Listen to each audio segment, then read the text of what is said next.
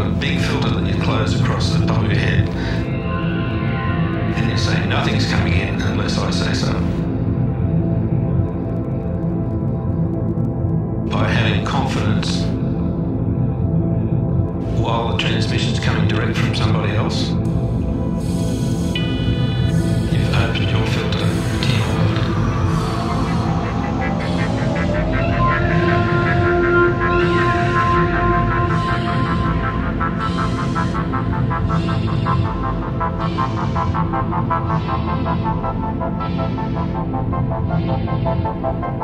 Thank